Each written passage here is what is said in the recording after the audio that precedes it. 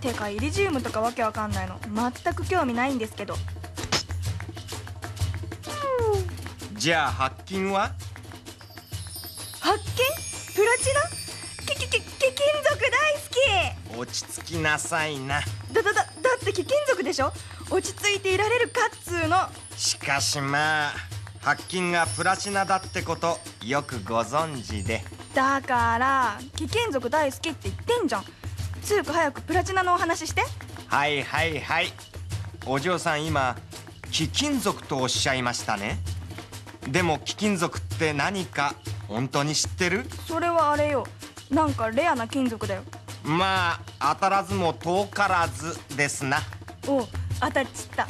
当たらずもだってば。貴金属とは普通金銀パラジウム白金イリジウムロジウムルテニウムオスミウムの8つの元素を指します。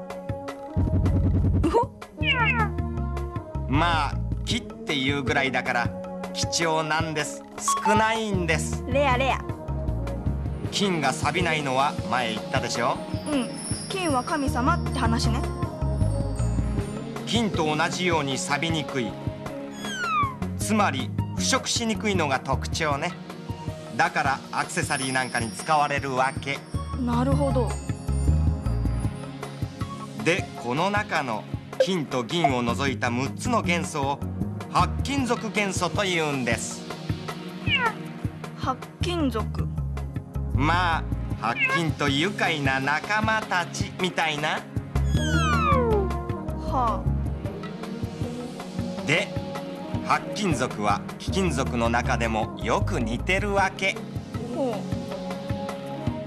まず金属ですから当然特有の光沢があります。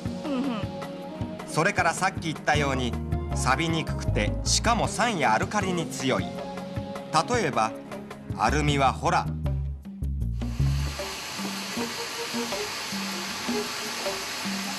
塩酸につけると溶けちゃいますが白金属は反応しない。平気。うむ。そして硬いこと。白金属はものすごい硬い。この数字は物質の硬さを表したもの。ダイヤモンドが10で金が2.5で白金属は6.5とか7とか。ね硬そうでしょ？確かに硬そう。他にも融点がすごく高いとかね。ほらこんなに熱しても反応しない。平気。とこんな共通点があるわけ。要は鈍感ってことだ